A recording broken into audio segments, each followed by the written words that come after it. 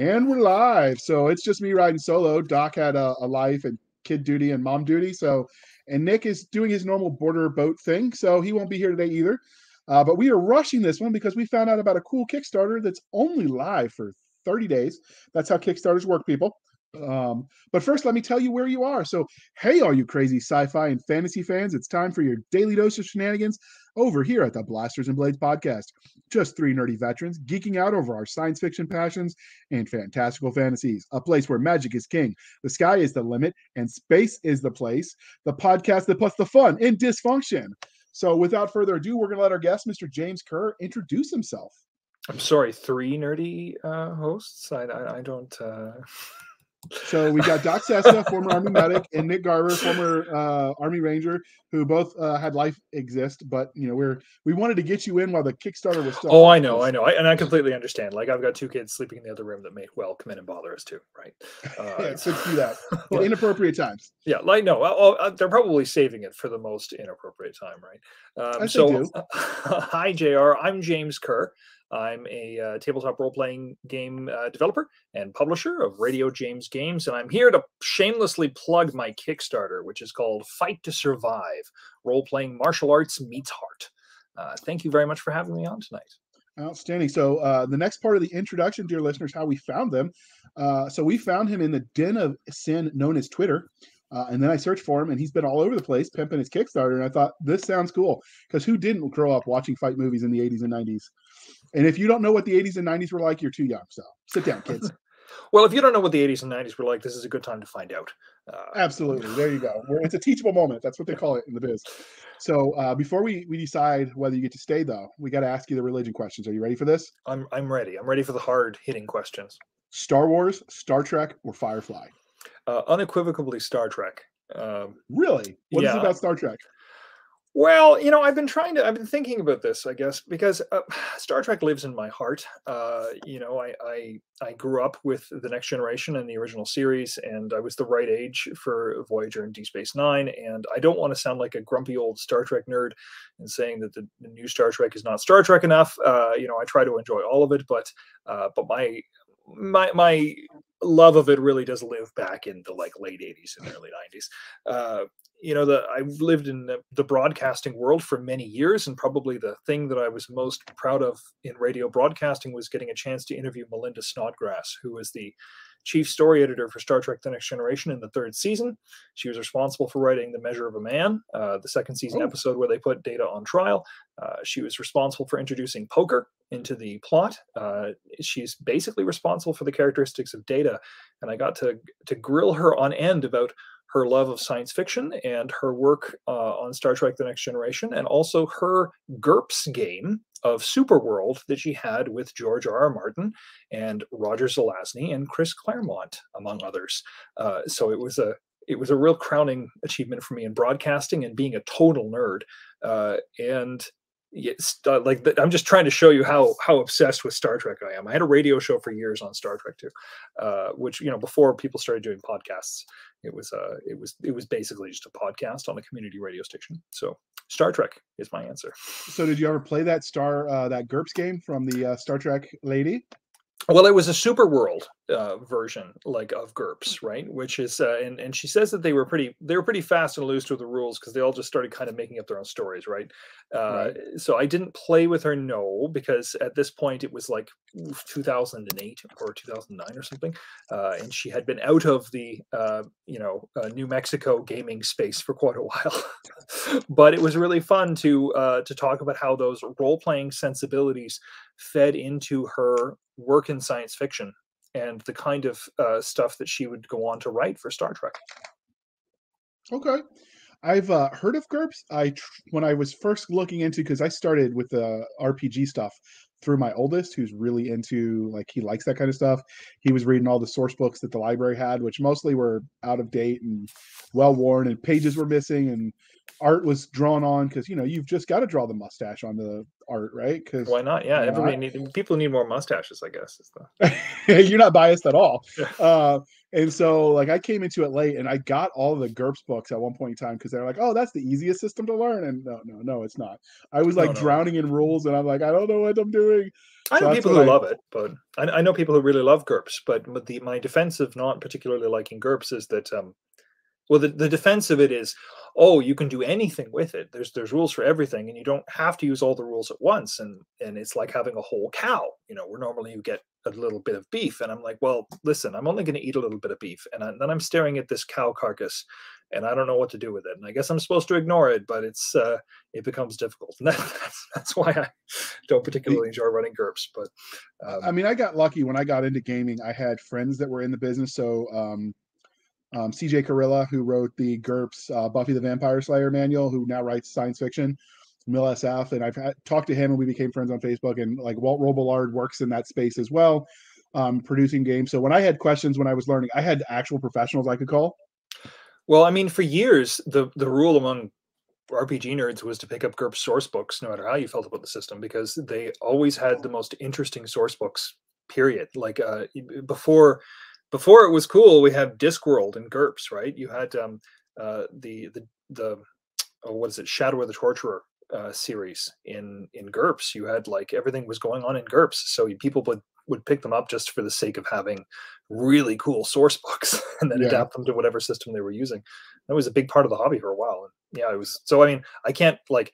I love it. I, I had the opportunity last year to interview Steve Jackson uh, during a um, a Gary Con and ask him all these questions.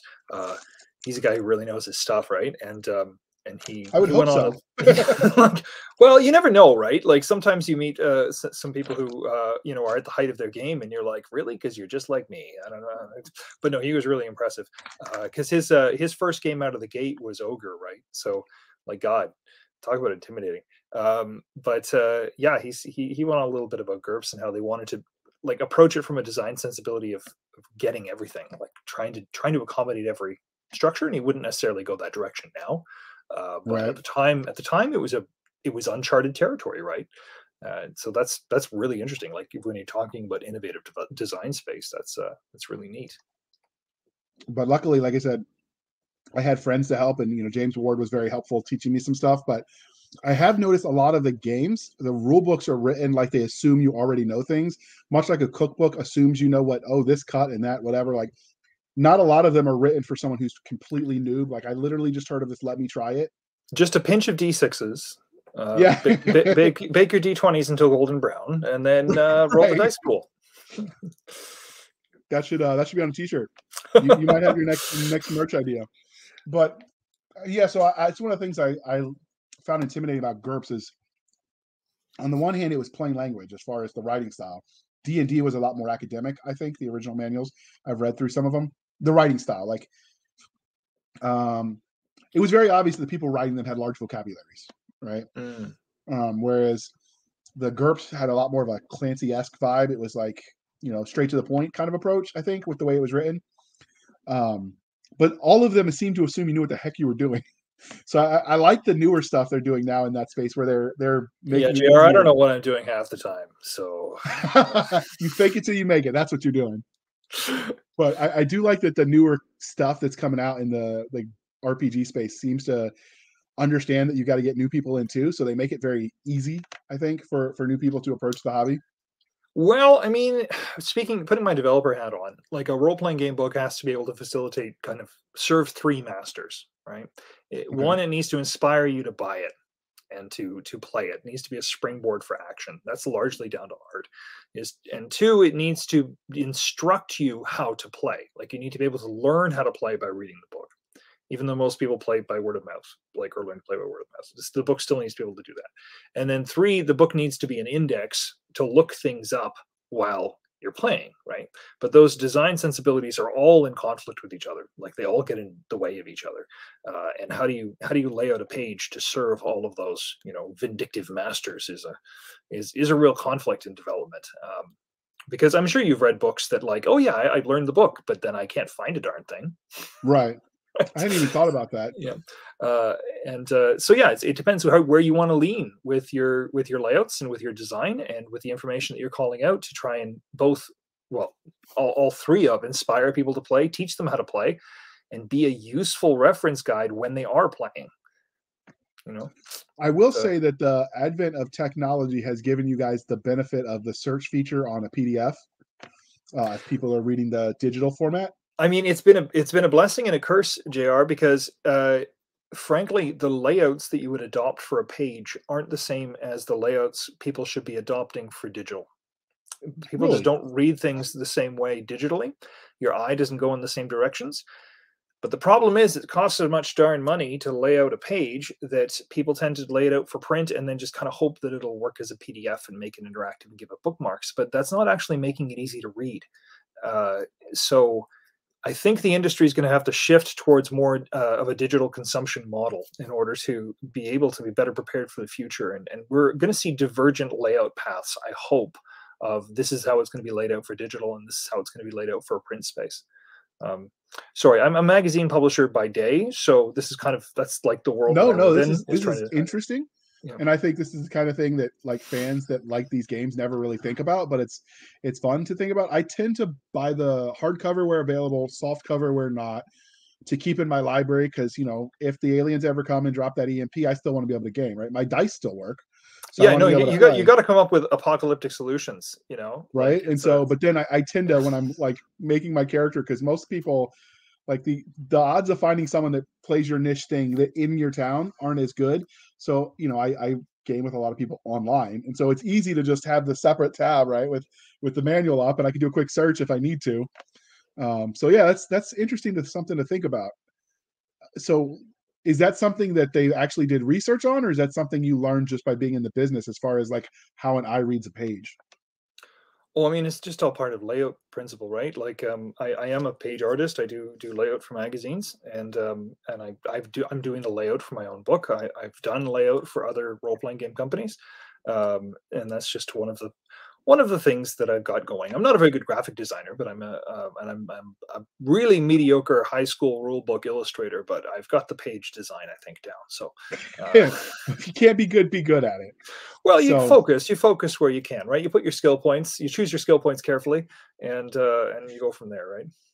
so this is what happens when i'm not supervised the rabbit trails can go anywhere but we were doing the religion question and he mentioned star trek and it was it was off to the races It's my own fault. It's my own fault. I just you got me impassioned about Star Trek again, and and uh, and away we went. You know. Uh, it, it I, I get it i get it so because we're a polytheistic podcast game of thrones lord of the rings or wheel of time Uh, Lord of the Rings, certainly. I'm uh, I'm just uh, part of the problem is I'm just that age. You know, I, I grew up reading Lord of the Rings. Um, I have some pretty big criticisms of Game of Thrones uh, and its narrative arc or lack thereof, and uh, it's uh, but Lord of the Rings. What I like most about Lord of the Rings is the fact that from a storytelling perspective, uh, J.R.R. Tolkien does everything like in terms of a learning perspective, J.R.R. Tolkien is an amateur, right? He's just what you can do if you are an obnoxiously talented, really passionate amateur who devotes an entire world and language to to his work.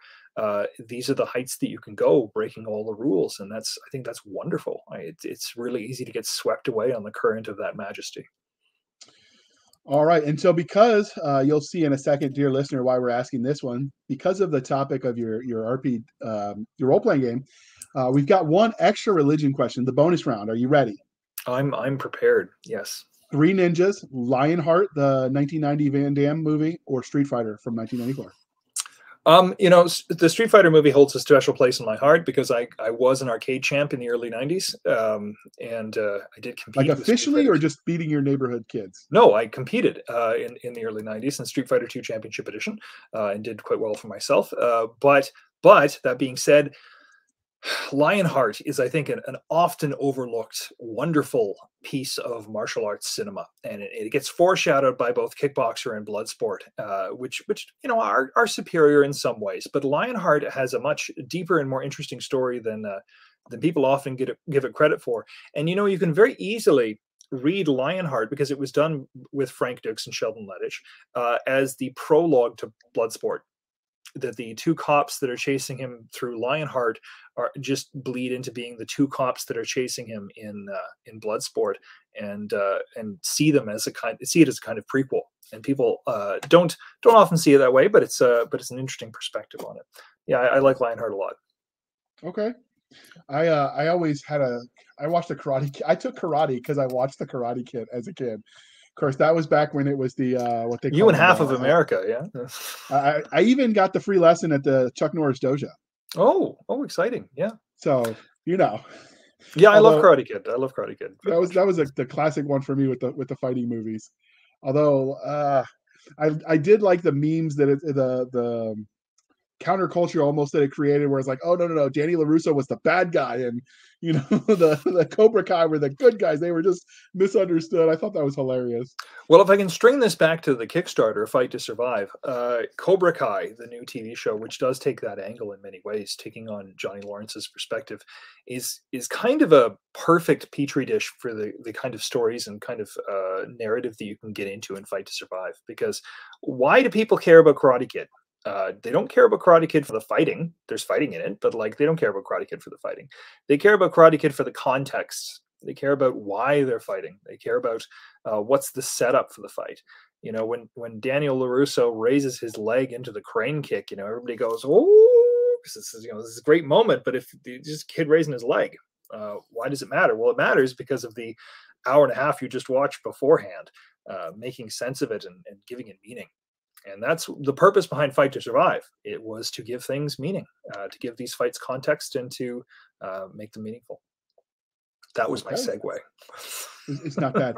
Almost like you've done this before. Oh you know a time or two. Yeah. So uh, we here at the blasters and blades we like both the fantastical and the scientific. So what was your first love sci-fi or fantasy um, I'm going to be a, a, tad unconventional for people among my generation. Say that my first love was definitely science fiction. Uh, I grew up reading a lot of um, science fiction paperbacks. I don't know why, just whatever I had access to, like H.G. Wells, I had a lot of access to. Um, uh, uh, Samuel R. Delany, uh, I really loved. Um, the uh, Canadian Golden Age science fiction giant A.E. Van Vogt, who fell out of big favor after uh, Damon Knight, obviously, with his Pygmy and the Typewriter uh, exclamation, but uh, still I loved A. Van Vogt and his dreamlike qualities. Um, you know, a lot of Frederik Pohl, uh, Larry Niven, uh, a lot of the golden age stuff and a lot of the like uh, the 70s new wave uh, paperbacks were mostly what I would read. Mind you, I, I I love fantasy too, you know, and I love the places where they intersect like Roger Zelazny, um, you know, and I love some of the the planetary romance stuff, like the Edgar Rice Burroughs stories of John Carter uh, on Barsoom, and like those have all informed my imagination in various ways. But uh, I probably read more science fiction than most people I know who uh, who are more prone to fantasy. So sometimes I feel like a bit of an outlier, uh, trying to plug them on the latest science fiction, uh, like um, the fifth season, for instance, or Ancillary Mercy, uh, or the uh, the Expanse series. Uh, but I think there's still a lot of really great stuff happening in science fiction, and uh, people should be more involved in in the science fiction of today. As much as I'm also stuck in yesterday, you know, it's uh, I try a happy to, medium somewhere. Yeah. So, what was your first memory of engaging in speculative fiction? Was it reading the the works, the classic works of science fiction, or was it you know did you find it on television, watching Star Trek, or what was your? I mean, it's. I mean, if I'm being honest with myself, it's almost certainly watching Star Trek. Um, yeah, it's probably my earliest science fiction is watching Star Trek. I have a, a, a very distinct memory of I think it was about around about 1989 when The Cage first aired unedited. Uh, so it wasn't the Menagerie parts one and two. It was it was the original pilot of Star Trek: The Cage, and I remember television building it up a lot uh, at the time, and it was like I didn't realize when I, I, was just a kid. I was like, I don't know, eight or nine or something, and I I didn't realize that was the first time it was airing, and I remember it blowing my mind. Uh, and that was probably the moment at which I I really got into science fiction was watching The Cage. I think that's a maybe a strange entry point, but it's uh it's um it was meaningful at the time. It's as valid as any other. So what is it about science fiction that you love so much as a genre? Uh, what I love most about science fiction is the fact that, um, well, you know, I'm not sure emotional nuance was easy for me as a kid. Uh, honestly, like I remember watching the Ghostbusters and I couldn't tell anybody apart. Uh, I was like, oh, I don't know. There's a guy in a jumpsuit and a guy in a jumpsuit, and a guy in a jumpsuit, and, and Ernie Hudson.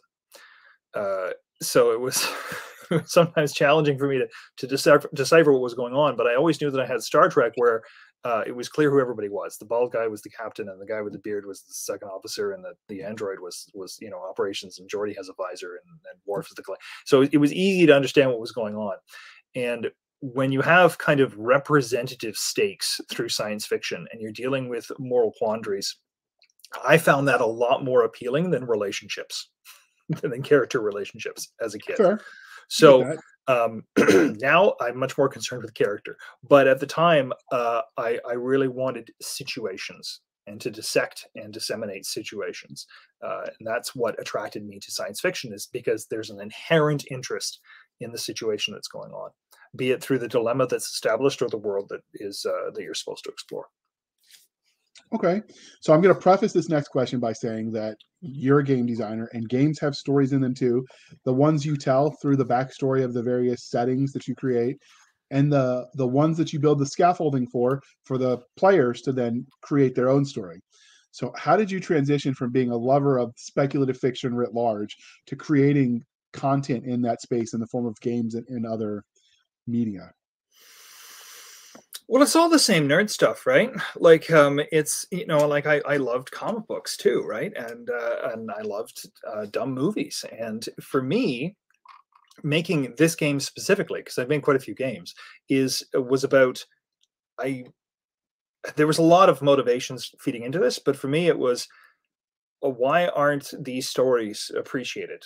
Um, you know, people would people say, "Oh, action movies they got dumb plots and they've got dumb lines and they've got bad acting."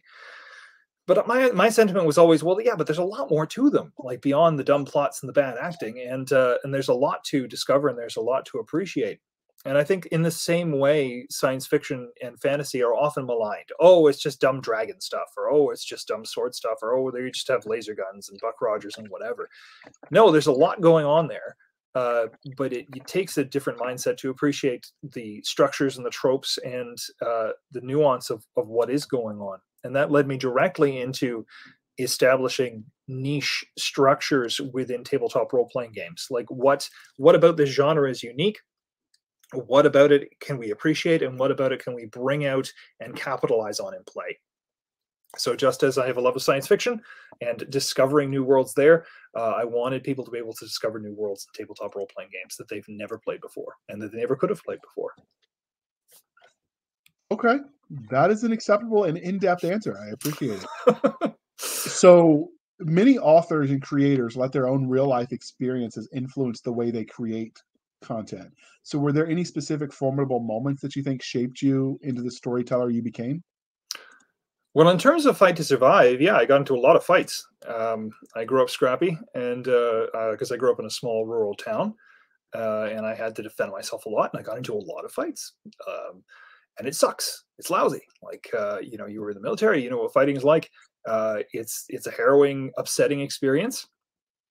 And uh, I kind of wanted to take that harrowing, upsetting experience and uh, deal with it in a different way. Because like I'm I'm a big you, you can't tell how tall I am, but I'm like six four. You know, I'm I, I at one point I was very fit in my life. I am now firmly given unto the dad body, uh, but I was fit for a while there, and um, I wanted to take uh, with the experience I of I wanted to take the experience of getting into a fight and actually do something with it, because in a role playing game. Uh, I was never satisfied with how fighting let alone martial arts, was depicted in a role playing game. I'm going to get into a little bit of a diatribe here, sorry. Uh, but Ninjas and Super Spies by Erick Wujcik is a really good example of a role playing game text. It's under the champion system that's very in depth, but it's so in depth, you would need to know martial arts in order to know how to play, really, from a tactical perspective. Like, yeah, you can just learn champions, but like, uh, in order to really understand what he's on about, because he was a, a martial arts enthusiast, you need to know quite a bit about the martial arts. I really don't want players coming into a system feeling like they have to get a PhD in order to be able to play it. Uh, I, I, want to develop games that are intuitive, that make sense, uh, and that people can not pick up and play, but you know, because we can have more investment than that, but uh, that people can come to without having to have prior knowledge. So I wanted to develop a game that would both feel like fighting, where you're making the kind of choices you're making in fighting, the kind of hard, tough, gritty choices from fighting, I wanted a game where you could come to it not knowing martial arts, but if you did know martial arts, it would give you something of a of a, a deeper appreciation.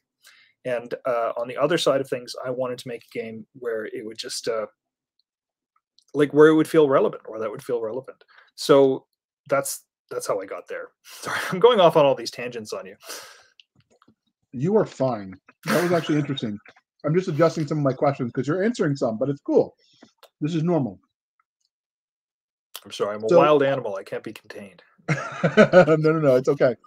So, transitioning a little bit, and then we're going to dive deep into the game. But from a writing side, let's look at things from a fan angle.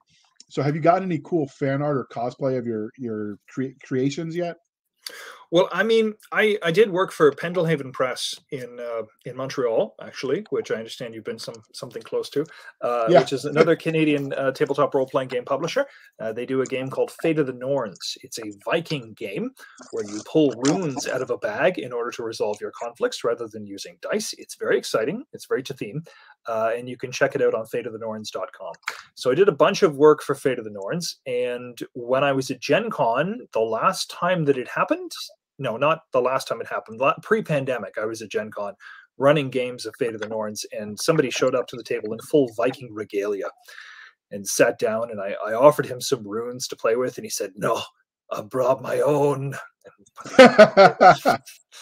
And uh, yeah, well, I am interested enough that I'm going to make that a show note, and we will look that up and see if I can't throw Fate of the Norns to uh, to people to look into as well. Yeah, you should. Andrew Valkauskas is a great guy, and uh, Fate of the Norns is, is a great system. Uh, Ed Greenwood is doing some work for them right now in a their recent Kickstarter, which is the Athleath box set.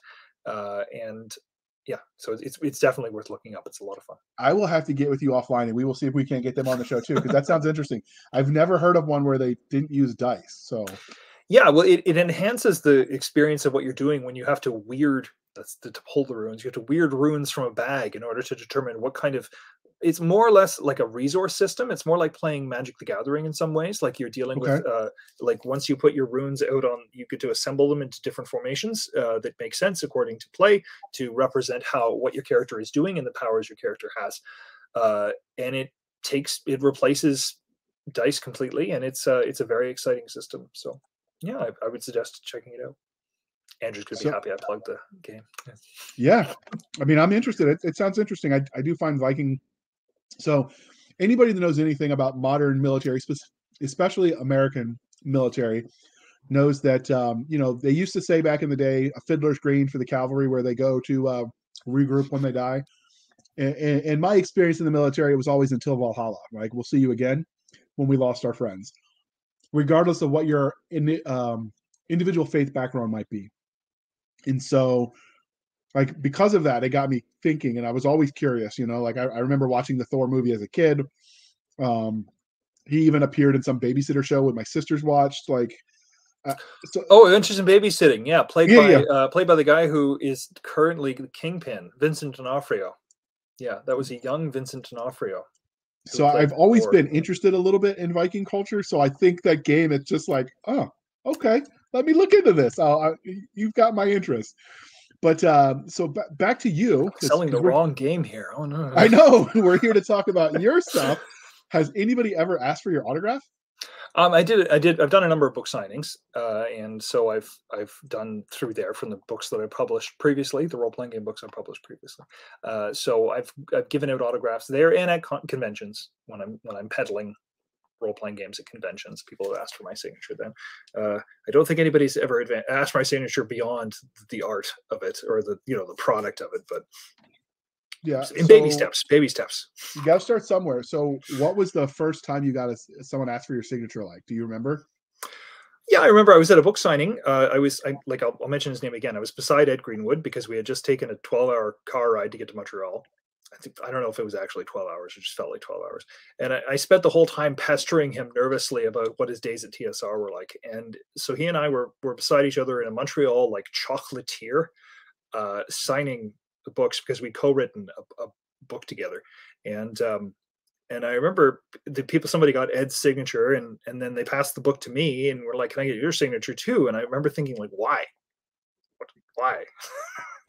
So, but it, it was so it was a very strange experience for me. But I like was like, oh, I, I just and then the, the thought was, well, I don't want to ruin this book by writing in it. so it sounds like in the uh, in the traditional or not traditional in the regular novel format world of writing, you would be what we call the and more and many more or and more on an anthology. You know, you got the headliners and then and many more. Like that's that's still where I'm at in the in the writing phase. It sounds like you were there. Yeah, well, that's that's where on... I was with with Ed. Yeah, Ed would write the like it was a it was called Creatures from Fairy Tale and Myth, and it was the kind of storybook uh, before the publisher repackaged the material to be game material. Uh, and so he got Ed to do these fantastic stories about these monsters, and I was doing all the like background research and structuring that would be uh, for the game relevant for the game mechanics. So it'd be like, uh, you know, the Ugberton does this and is known for this and was known from these tales, and like I got to do that stuff, and then Ed got to do the colorful uh, fiction stuff. Um, yeah, and uh, and a, and a girl, a wonderful girl named Michelle, also got to supplement Ed's writing with some of her uh, with some of her fic- on the fiction side. So it ended up being three of us, but um, it was a good experience, and uh, I had a great time signing signing my name at a chocolatier. Uh, that was the first time. It's always uh, amazing to hear people who were involved with TSR in the beginning. I've, I've gotten to talk to James Ward a lot about that.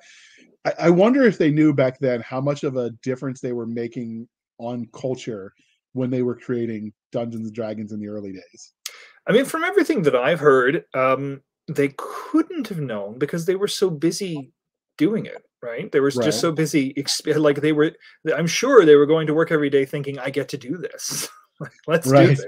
Wait, you're going to uh, pay me for this? You know, you're going to pay me for this? Like, let's do this. And uh, um, from some of the stories that I've heard, you know, the, the living conditions for people working at, at, TSR weren't necessarily great. You know, a lot of them lived in like flop houses together because that's the only way they could afford rent because Lake Geneva is very expensive, uh, and so they their life was their work. Right? They basically lived at work because there was there wasn't much of a home to go home to, uh, and you know, I keep thinking that's exactly what I would have done.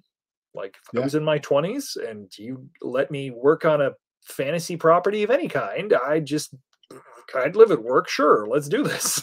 You can make a lot of choices that you uh, early in life that you can't make as you grow and have families, and so why not? Yeah, there there are doors that are closed. Let me tell you. yeah. So, um, since you've started creating content, have you ever spotted one of your books in the wild? Yes, but it's cheating because there are only so many uh, tabletop role playing game stores in Canada. Uh, 50% of the population of Canada is in Ontario. I'm in Ontario. Uh, and 50% of the population of Ontario is in Toronto. I'm not in Toronto, but I'm just outside Toronto. So if you go to a few key uh, gaming stores in Toronto, my books are in there. But uh, you know, most of the Canadian industry would, would would be in those places. But it's nice to see it out in the see them out in the wild. I went to a tag event one time, a Toronto area gaming uh, thing, and saw one of my books being played, and it wasn't had nothing to do with me. And I was like, oh, that's that's lovely. I'm too embarrassed to walk over there. I'll just go the other way. Uh, so it's uh, it, it, does happen, but uh, but we are talking about a much smaller pool, you know, with with Canadian. Take the uh, win stuff. wherever you can get it. I'll take the win. I'll take the win. I'm happy about it. I'll, I'll so uh, finally, the last of the fandom questions that Doc lovingly created because she's a fandom nerd. Um, what is the weirdest or funniest interaction with fans you've had since you started uh, creating content? Uh, the weirdest or funniest interaction I've had with fans. Um, I mean, I, I did run a game of Fate of the Norns one time where like like beyond the fellow showing up with his own runes because that was like not uncommon. that at a convention game somebody would show up with their own runes. Not not often in like full braided beard and and you know uh, historically inaccurate horn helmet but uh, but people did show up people did show up taking runes uh, very seriously as a kind of uh, I had one guy who showed up and, and, he was treating it as a kind of divination and was convinced that every time he worded his runes for his character it meant different things for his life. And uh, I had to I had to calm the guy down at one point and be like, buddy, like let's let's all have fun. Let's let's just Method concentrate having fun. And like it's well, I was never quite sure where that line was, you know, if he was uh, if he was just really really gung ho, you know, into what was going on, or if or if he was doing a, a bit, or uh, if he was uh, if he was a little bit concerned about his divine fate under the runes. Uh, but yeah, that's that's the way. Smile and wave, boys. Well, Smile people people make their own fun, right? People have different right. fun they have different kinds of fun. I don't want to discourage anybody They're fun. No, there's know? no such thing as wrong fun if it's legal and consensual. No, no bad wrong fun. Yeah. All right. So normally we would pause right now uh, before we start talking about the product itself and shamelessly shill for the man, but the man is sitting right here. Mr. James Kerr is sponsoring this episode, so uh, we'll just keep talking about your product since that's what we're here for anyway. Damn the torpedoes! Full speed Full ahead. speed ahead. Absolutely. So this is the part where we talk about everything you, James Kerr, have created. So can you give us the the Reader's Digest version of uh, your body of works? And I am told saying Reader's Digest ages me. I mean, is it still around the Reader's Digest? I don't know. Okay. right. I had a younger reader or listener who listens with his dad emailed the show and he's like, "What's Reader's Digest?" Like, I "Oh mean, my you God, could slightly you know, contemporize yourself and say Coles Notes, or I guess the Wikipedia version. Uh, Yeah. but, uh, Uh, what have I published? I published, I think, five or six books for Pendelhaven Press. Um, I, I ran the gambit of doing writing, uh, editing, uh, layout work, and for the last, uh, what did I do? I did a bunch of adventures, and I did a bunch of uh, bestiaries. And the last book that I did was a core rule book called Children of Eriu, uh, which was the Celtic setting for the Fate of the Norns universe. So it takes things a little bit farther south. And for that, I was the project manager of, uh, of of it. I ended up kind of being the editor of it. Uh, I managed to snag some development credit because I managed to develop uh, a few of the rules and structures. Uh, did quite a bit of writing for it, and I did the layout. Uh, so that was kickstarted a year and a half ago or a bit. Uh, it ended up being a massive project. We wanted it to be like 220 pages. and It was like 440 pages. Uh, but uh, no, it was it was it was a big one.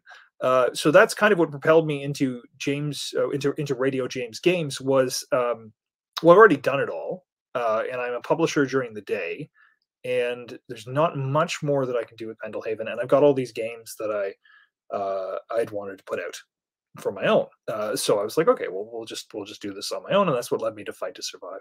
So if you want to check it out, you can probably just type in James Kerr into DriveThruRPG and see a big list. Uh, not that big of a list, but you know, a list. Uh, and otherwise, if you want to check out this game, you can go to radiojamesgames.com or look up Radio James Games on Discord, and we have a Facebook page as well. So with the um, with the the Celtic version of the Norns games, was that different runes, or did it um, use the same rune set for the? It uses the same rune set, but that was only because I was worried about people. I didn't want people to feel like we were just trying to rig more dollars out of them. I thought Right. about converting the whole thing to an Ogham uh, set, which is kind of the I mean, it, the sometimes used specifically Irish druid form of communicating by carving into sticks and uh, sometimes carving onto stones. Uh, and Ogham script is, is very interesting, but it wasn't going to offer the diversity of possibilities that were afforded by the Elder Futhark rune set that we did use for Fate of the Norns. And ultimately, we decided let's just stick to the runes because we don't want people feeling like oh they have to buy this big book and they have to invest in a rune bag. Whereas elder futhark runes are fairly common like even if you don't um, get get some from Pendelhaven you can still you know you can still get some. You can you can make some with clay you can you can do it that way uh, but with a full Ogham set it would have it would have been a whole new structure so uh, of the things that i regret artistically you know i could have i could have stuck to my guns and been like no we're going with Ogham it's going to be wonderful but uh but I, I compromised. We went Elder Futhark. Okay, and we'll uh, we'll link all the things in the show notes. He is going to get us all of his social medias, and if you like gaming and you like nerding out over all the cool things, then uh, his show notes will show you what to buy. But uh, while all of that sounds fascinating, we didn't bring you here to talk about Vikings, although Vikings are awesome. Uh, we brought you here to talk about your Kickstarter, the uh, Fight to Survive. So, one of the things that makes RPG manuals fun is the art. Um, so, what kind of art did you go um, with for the source book? What can they expect? And then once you answer, so we don't color the audience, I will show some of the art that I snagged from your Kickstarter. Sorry, trying to give a sense of my what's on my green screen here. Uh, we were blessed. We were blessed with a fantastic artist named Ian McLean, who has worked in the industry for about 20 years. He's done uh, material for Pathfinder, for Call of Cthulhu, and for a lot of little indie games. Uh, and he and I knew each other already, and I had him in mind since before I even started writing this game. So it was a really good, uh, it was a really good pairing, and I'm so blessed that we're working so well together to try and present uh, some exciting, dynamic, energy-filled art uh, that really communicates the genre tropes and uh, what we're trying to achieve.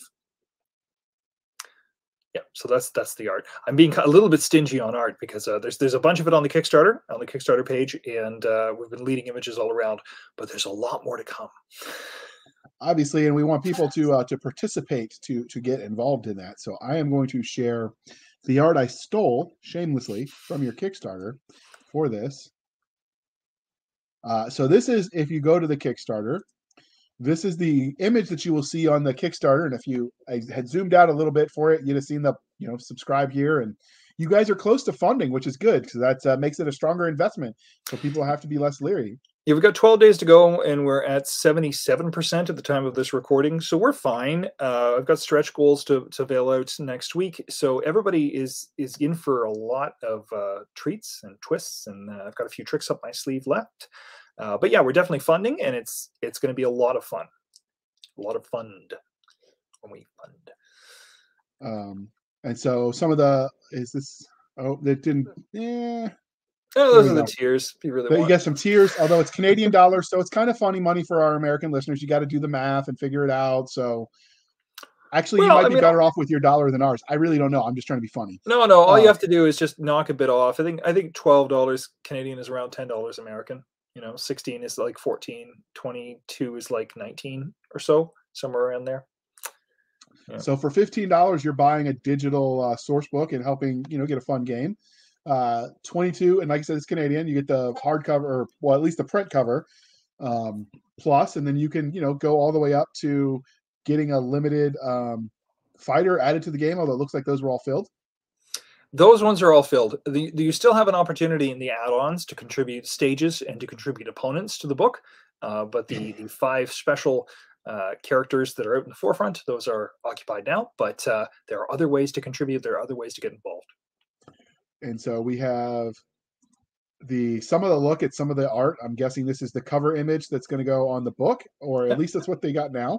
Yeah, that's the cover um, image. And then in behind are some of the page layouts uh, from the quick start and then he's got a list um, that I uh, so you know I, the art is obviously limited on a Kickstarter. Oh, let me zoom in real quick. The art is limited on the Kickstarter because you know most of the time it gets funded afterwards or paid for afterwards. But I mean those those characters that definitely looks Street Fighter to me. I, I see it. Yeah, I mean they, they're, they're the fighters are meant to communicate a lot of attitude. I don't want uh, the kind of meta narrative characters to be the heroes, so to speak. Uh, it's all about the characters that you create as players. Uh, and the mechanics are there to support that and bring those characters to the forefront of life in the environment that's set up and fight to survive. But just to give you a sense of the kind of dynamic characters that you can create, like, yes, they're all martial artists. Yes, it's all mundane. It's very down to earth. It's very close to home, low stakes, personal, and gritty, but you can still make a dynamic range of characters as displayed by all of these guys, which are just the kind of playtest group from the year uh, 1985. Okay.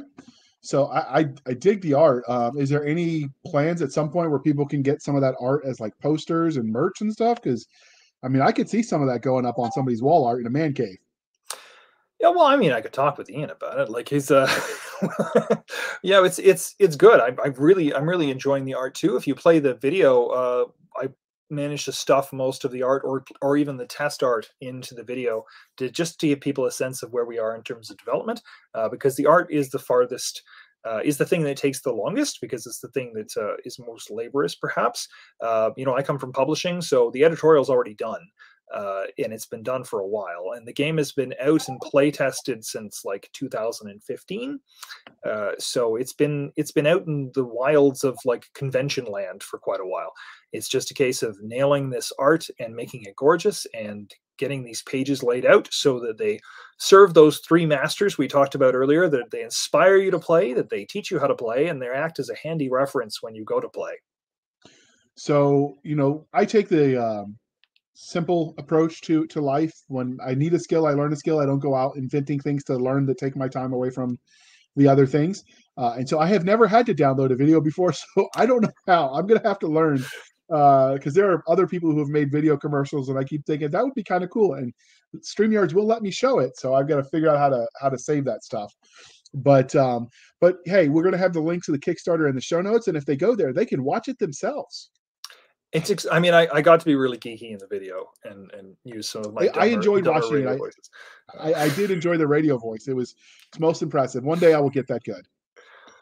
Oh, I mean, I mean, it's it's just uh, spending enough time in front of a uh, you know a better microphone than.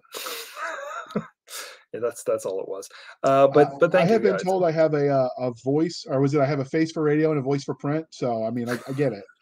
But um, so moving on to the game itself, what would be your 30 second elevator pitch for Fight to Survive? Well, my 30 second um, elevator bitch has usually been uh, think of Mouse Guard meets Jean Claude Van Damme's Bloodsport. Okay, has been my one line. Um, you know, I could have I could have chosen another direction. I could have said like uh, think Blades in the Dark meets Karate Kid. You know, I I could uh, say that it's a it's a diceless game where you compare your moves. Uh, and the heart of the game matters as much as the fighting of the game. Okay, that's probably that's like three elevator pitches, three business card I, I. I will take it. So, what do you mean when you say you compare your moves in the heart of it matters more? Because I'm used to games where you roll a dice, or in some cases you flip a, a deck of, you know, even just playing cards, and they'll have systems built around that. So, so what is the engine behind this that allows you to say, "Oh, my move connected and yours didn't"?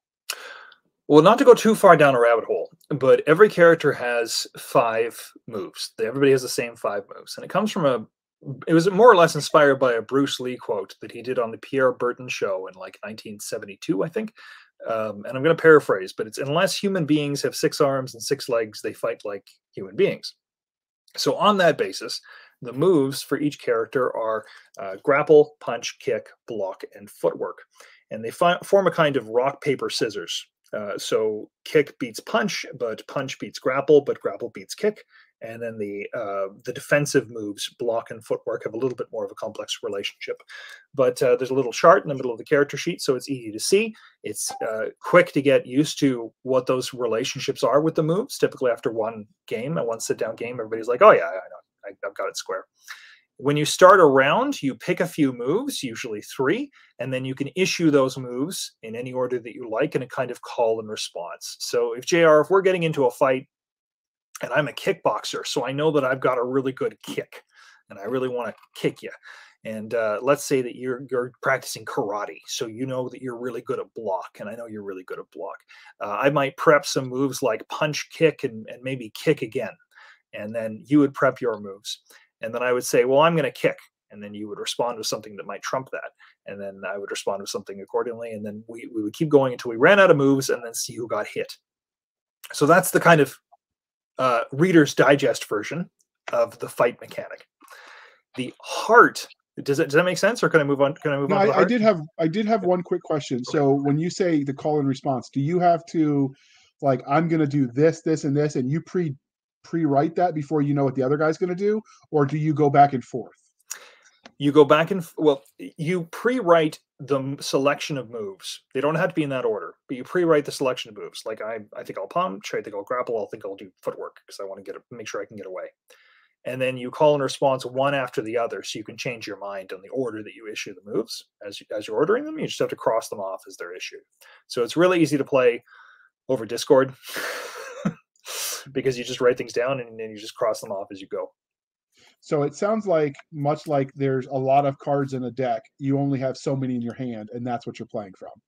And you um kind of ex- except it doesn't need cards. Like you can you can do I'm it just pretty- using that as a uh, visual. For yeah yeah no no. Vi- visually you could easily be like i'm going to play my punch card that uses my punch card uh, but i've got another punch card. I only use my other punch card.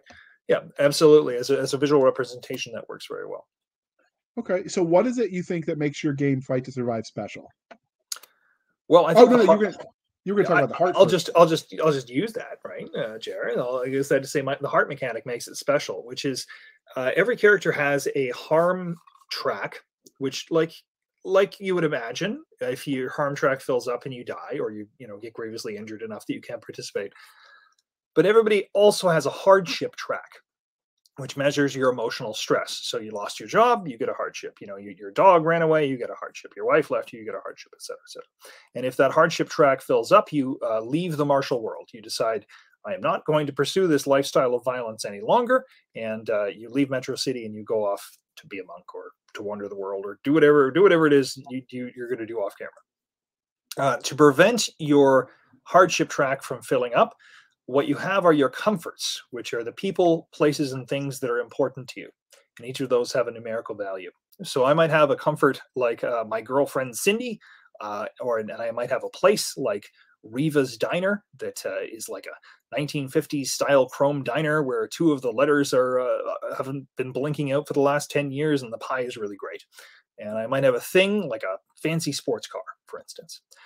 So when I'm not fighting, when you when you're getting into a fight and pursuing this violent lifestyle, you're getting hardship as well as as injury because it's it's a it's a harrowing experience, and then you've got to deal with that hardship. So I might go to Riva's Diner and get some pie, and knowing that I've got three in Riva's Diner, it reduces three hardship from my hardship track and keeps me from going crazy. But these are established on little plateaus. Both health and hardship are established on plateaus. So like if I get up to stressed out, or if I get out to just snapped, or if I get out to, up to had an episode, you know, then uh, things are dramatic. Uh, do you remember Bloodsport very well, Jr? I, I know I talk about Bloodsport probably too much, but I've seen it, but it's been a couple years. okay, so we'll see if you can remember this scene. There was a scene in Bloodsport where Jean Claude Van Damme is on the bus. He's on the bus in Hong Kong. God knows why he's on the bus, and uh, it's playing Stan Bush's "On My Own," like a dorky love song in the background and he's kind of troubled because the the bad guy, uh, played by Bolo Yeung, he's he's uh, just defeated Jean Claude Van Damme, Frank Dux' friend Jackson, and broken his leg, and the guy's in the hospital. And so Jean Claude Van Damme's on the bus, and he's looking in the reflection of the mirror, and he sees his enemy in the reflection, and looks over on the other seat, and no, no, he's not actually there. And I remembered watching that and thinking, why doesn't a role playing game do that? Why can't we have emotional relevance to the structure of fights because you can make a game that that where two people just meet and they fight and then you resolve it. The problem is that lacks uh, substance. There's quite there's quite a few of those games. I'm not going to judge anybody for their fun. Like people have lots of fun doing things, but what I was interested in was developing a game where that has meaning. So we talked about the martial arts mechanics. We talked about comforts. The structure of the game is that every game those things that you chose as comforts are what is on the chopping block. So your girlfriend Cindy, she's been kidnapped. Your sports car, it's been stolen. Your Riva's diner, excuse me, the landlord uh, wants to sell the property and bulldoze it and put up a Walmart.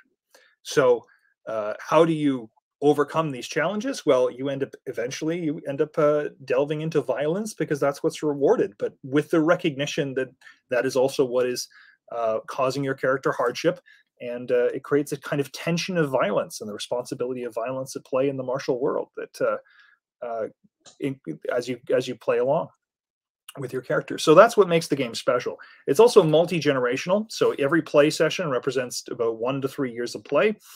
Uh, so as you get older, you're going to get frailer, but you're going to be more skilled. And there comes a certain point at which you may not want to continue with your character because they've had grievous injury for too long. You know that that pit fight they got into in 1933 uh, with the barbed wire fence just never healed quite right, and uh, you know it's, it's been troubling them on their character sheet. It's stuck around, or they're just not able to escape the hardship.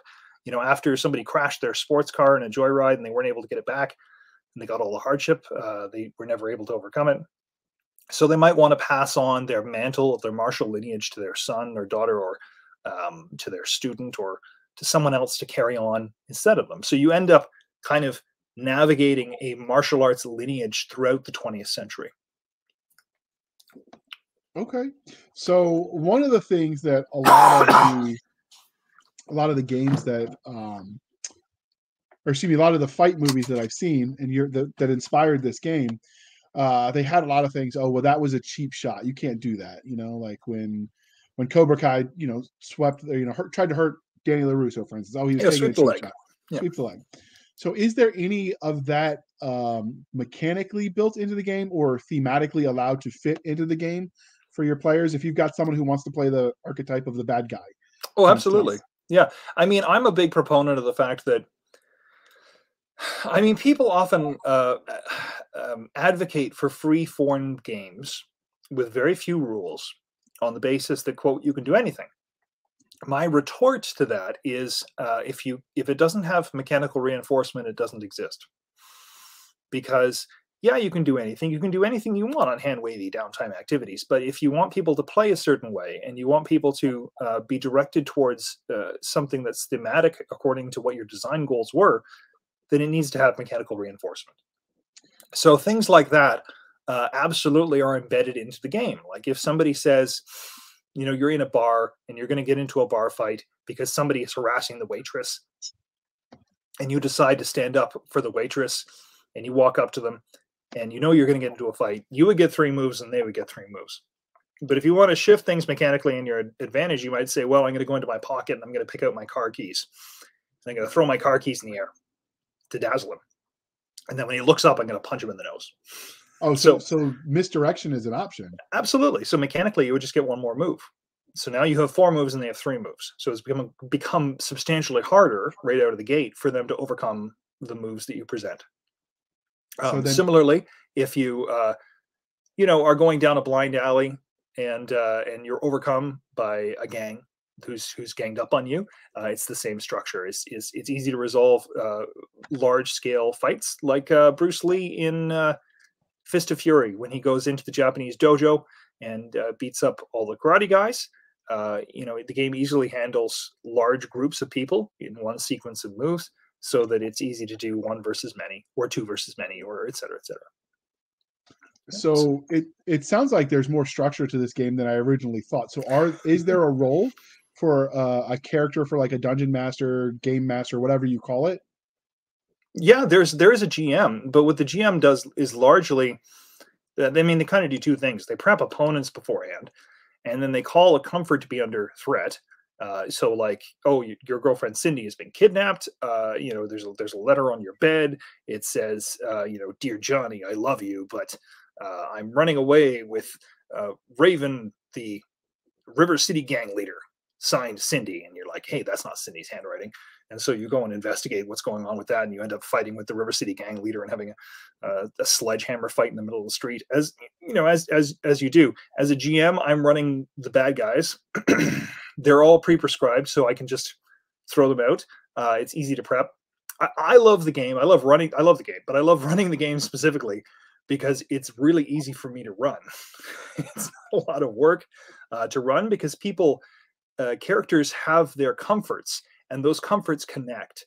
So you might have Cindy as a girlfriend, but the person beside you at the table might have Cindy as their sister, and uh, you might uh, love Riva's Diner, but somebody else at the at the table might be the cook for Riva's, Riva's Diner. So when these threats are under, uh, uh, when these comforts are under threat, you guys are rallying around. Like that's the motivation, the drive to action of why you're rallying around. I don't have to do much as a GM. I just have to put things under threat and then deal with the repercussions and adjudicate things as they come up. And people uh, scheme all the heck, you know, because they do. And uh, yeah, I, I enjoy the. I'm a forever GM anyway, but uh, one of my design considerations was I wanted this to be easy to run. that that's fair. So, is there ever a, a, scenario where you have player table player versus table player fighting, or are they always cooperative? No, absolutely, absolutely. There's there are circumstances where table versus table player fighting. Like I, um, in a, a fairly recent uh, game, somebody they were on a boat and the one player character suspected that one of the other player characters' comforts was a murderer and so was trying to crash into their room and the other the other player character was trying to prevent them from doing so and they ended up getting into a fight. Uh, it definitely happens. It's it's not like a you know let's get these guys together and kill each other kind of game um, if you really wanted to you could do that i guess but uh, uh, there's a lot more emotional complexity to what's going on with these characters uh, than than that because the thing is i didn't want this to be just one shot fodder this game gets richer the more you play it. So you might have a comfort of Cindy, uh, and you start playing like let's say the 1940s, like 1943 or something. And uh, next year, you know, Cindy might have something happen to her. The comfort might be under threat. Uh, as it rotates around, different comforts will be under threat. But like as the years go by, you have more and more of a history with Cindy.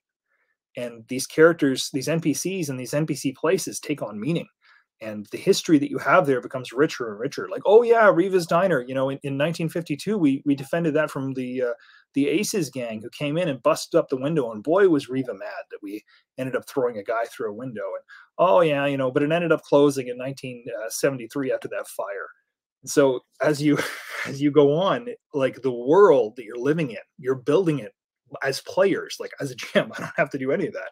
As players, they're building it as they go in a way that is mechanically relevant and doesn't feel arbitrary.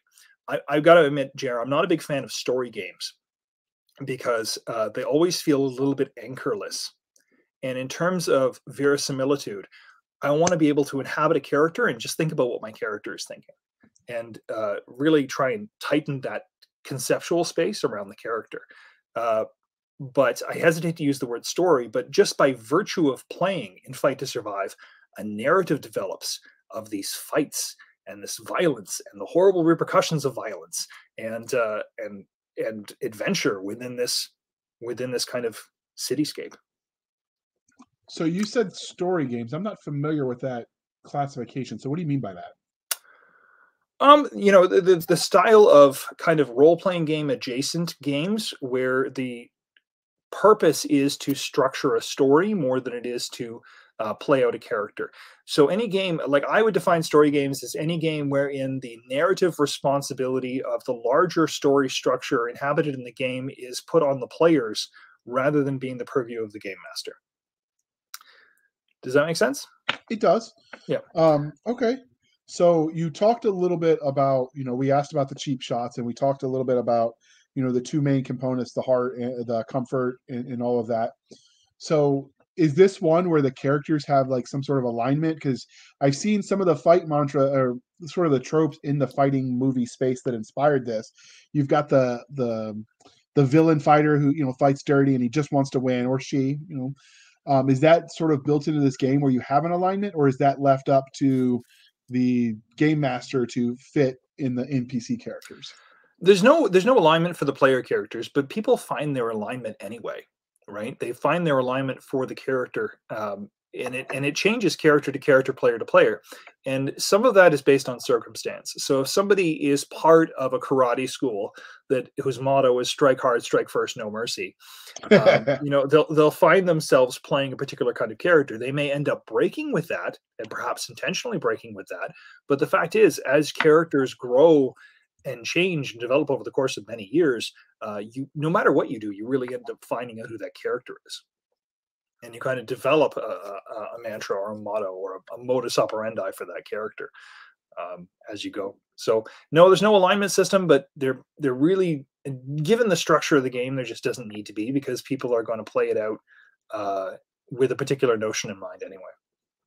So let's let's talk about that the nature of the game. So you mentioned that this the engine that you're using is one uh, that is is to you know the skills and the the comforts. Is that something that came from other games, or did you build this just for this game? I mean, it bears everything in it bears similarities to other games, more or less. Um, but it's it's largely it's its own animal. Like you can say that the uh, I developed the choice of moves and then comparing the moves against each other uh, independently. But I, there is a very similar structure that happens in Burning Wheel and Mouse Guard. Uh, in some ways, it's similar. Uh, in, you know, it's kind of a rock paper scissors thing. Uh, so like there's that to lean on. Uh, Blades in the Dark had a kind of similar structure to Comforts in a way, but everything is kind of uh, the screws are tightened around this being a closed design. So it doesn't take from any one thing particularly, uh, but I'm inspired by quite a few things. I don't know if you know uh, Greg Stafford's King Arthur Pendragon. Uh, wonderful game. It's a more traditional game, uh, but it has a generational aspect to it, and it also uh, pioneered the idea of generational play and passing on your uh, the mantle of who your player character is as you go down through the years. I was very inspired by that, so I brought a similar kind of system into this game to, to move the the narrative timescape around at, at a fairly quick place uh, pace and try and get a panorama. So then you get kind of snapshots of people's lives as you move the calendar along, and it becomes uh, in some ways more emotionally resonant. And I really like that out of the Pendragon, so I I uh, adapted it to here. So yeah. So let's uh, first off, is there an optimal size for a table for this game? Oh yeah, definitely. It's five. Uh, five, five players and one GM. Yeah, the game is, uh, you know, every game has its strength and strengths and weaknesses. Uh, I would not suggest trying to play this game with more people than five. I've definitely played a game with as few as two players, uh, and it works, but it's richer the more people you have because, uh, to a point, because the comforts become more and more interconnected. So, like the sports car that you got uh, as your thing, you know, could have come from the other player because they lost it in a gambling debt or something. So you have uh, the comforts have associations across different uh, characters at the table, so they take on meaning for different people. So when that sports car is stolen or when it's wrecked or when you know it's it gets into a car accident it has different uh, ramifications for those characters so the the optimal size is, is six people one gm and, and five players but you can definitely run handsome wonderful games with four and with three players and and and, and you can definitely do two players so is this it sounds like this game the fighting takes place everywhere uh, I originally at first I thought maybe it was like an arena game because you know some of the some of the fighting movies were happening in, in fight contest. So is there any um, or is this thematic? But like obviously, if you've got two dudes brawling in the middle of the street, sometimes the cops get involved. Yeah. Do you factor that kind of stuff in? Absolutely, you do. Most most play groups end up run a, running afoul of, of police at some point or another. I mean, as a genre, um, you know, it's taking inspiration from all these films where people are doing like um, deep underground tournaments that no right. one has seen. You know, it's it's a uh, uh, so similarly, you end up on the kind of you know the bad side of the law, being a renegade or what have you. I have known people to go the other direction. Some play groups go the other, other direction and become like a karate cop or something, uh, and uh, and work for for truth and justice. But you know, have their sergeant yelling at them like, "You can't do this anymore, kid. You're, you're tearing yourself apart." Like, you know, uh, that could also be a lot of fun. Uh, but you're going to have to deal with the cops one way or another eventually. Uh, is is kind of one of the pivoting points in the in the prolonged history of, of play. Yeah is that built into the game system or is that something that's brought to the table by the the game master? Um it's in it's in the game system but it's that that i think is more brought to the table by the game master because the problem is it's taking place throughout the 20th century. Because the game sessions move up the years pretty quickly you can decide to start play in 1982 you can decide to start play in 1912 it, like it's it's up to you and, and how long you want to play. And different points in the 20th century mean very very very different things in terms of law enforcement. Yeah. Uh, it, because it certainly means very different things in terms of racism and in terms of uh, uh, of who you are and, and cultural oppression and economic oppression and cultural boundaries. And uh, how much your table wants to deal with those issues is very pivotal. Uh, you know, if if you're playing uh, a fellow who comes from Hong Kong and it's the 1910, you're going to have a hard time finding a hospital that will admit you, right? And now, if you really want to play with that and like explore what that circumstance is in the early 20th century, you're going to have a particular kind of relationship with police uh, and uh, and with with law enforcement and with political structures. If that's not something that interests your table, I mean, it's going to be hard not to get a, to get around issues of of uh, of like the the history of martial arts in the 20th century is one of profound uh, crossing cultural barriers and learning from different cultures and different peoples and peoples uh, mixing and intermingling and sharing knowledge and especially after world war ii after uh, General Douglas MacArthur's SCAP ban on Japan and and the mass migration of people uh, out of uh, uh Japanese occupied China, uh, it's it, it, becomes a really big deal how you fit in as a as a cultural outsider and how you introduce your martial arts to the world and how you deal with uh, with your knowledge of martial arts. So I didn't want to come down hard and fast on how to well, this is the police and this is what they do because you could adopt so many perfectly relevant perspectives on where you are as a person, whether you're disenfranchised uh, within the structures of your time or whether you're not. And relative to both the history you're dealing with and how how heavy do you want to go as a as a player and as a group. Does that make sense? It does. So obviously we all know that there are you know as many as you can think of there's hundreds of thousands of variations of martial arts uh, some of them differentiated differentiated only by name um, so uh, within the context of the game itself, is everybody using the same quote martial arts system, or is it? I mean, are there like, oh, well, you're a karate guy, and so you get a I don't know plus one against the grappling? Like, is there built-in mechanic for the types of martial art? Yeah, there's definitely built-in mechanics for the types of martial arts. Um, I'm kind of a martial arts snob. I practiced martial arts for many years. I, I taught briefly, um, so I wanted to make that relevant, but I also wanted to make that approachable. So there's five different martial arts from the onset, and they kind of represent the five different moves. So there's karate, kung fu, kickboxing, uh, Western boxing, like boxing, and wrestling. Those are the five moves you kind of have, have, as an introduction.